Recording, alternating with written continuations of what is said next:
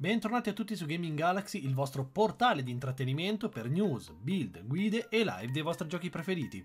Come sempre, oramai è tipo un mantra, iscrivetevi al canale se per caso non lo siete e ricordatevi di attivare la campanella così da rimanere sempre aggiornati su tutti i video che escono sul canale. Oggi parliamo di Godfall. Premetto subito che queste informazioni sono state tradotte da me dei video e le interviste mostrate. Non c'è nulla di scritto quindi se sbaglio qualcosa o mi dimentico qualcosa abbiate pazienza. Non è stata una cosa semplice tirare fuori questo video. Quindi iniziamo comunque subito nel dire che grazie al Pax Online ci sono stati mostrati alcuni aspetti che fino a poco fa non si conoscevano. Innanzitutto è stato mostrato il regno dell'acqua, decisamente ispirate con colori brillanti e in più in questo regno è stato mostrato il combat system di questo titolo che tutti stiamo aspettando, o meglio, alcuni dettagli importanti del combat system. Credevo che questo gioco fosse molto più semplice di quello che è in realtà e quindi ne sono molto felice in realtà. Partiamo quindi dal fatto che i nostri nemici, tutti quanti, hanno dei punti deboli, che se colpiti provocano critico e quindi molto più danni. Kane infatti ci spiega che dovremmo essere noi a capire quale sia il punto debole e a mettere in condizione di subire un attacco in quel punto il nemico che abbiamo di fronte.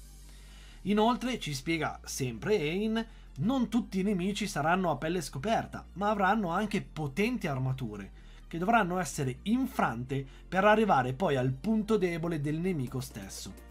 Questo può avvenire stordendo i nemici, colpendoli in determinate maniere o con mosse debilitanti, ma comunque i punti deboli non saranno messi in mostra con grafiche o illuminazioni diverse e dovremo sempre essere noi ad imparare a capire quando colpirli e soprattutto dove sono questi punti. Un dettaglio utile che ci viene in soccorso contro i nemici in armatura pesante sarà una barra di violazione, che si riempirà ogni volta che compiremo il nemico. Una volta riempita questa barra, il nemico si stordirà scoprendo proprio il punto debole. Ci vengono svelati inoltre altri due sistemi durante questo combattimento o del combat system, chiamatelo come volete, e riguardano il Soul Shatter e ovviamente anche il Soul Shatter con l'arma secondaria. Il Soul Shatter funziona più o meno come la barra di violazione che ho spiegato prima. Il giocatore attacca un nemico caricando una barra di potenza, per poi rilasciare questa potenza colpendo direttamente l'anima del nemico, uccidendolo, rompendo quindi il tessuto spirituale che lo lega al suo corpo. L'altra tattica, invece, sempre riguardante il Soul Shatter, consiste nell'estrarre l'arma secondaria, creando un'esplosione AOE. Non dimentichiamoci inoltre dello scudo, Kane ricorda essere non solo un oggetto di difesa, ma anche uno di attacco e di sovverchiamento del nemico.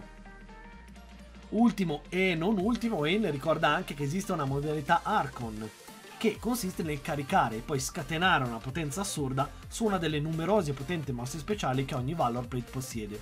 Questo avviene nel caso in cui si combattono e sconfiggono numerosi avversari.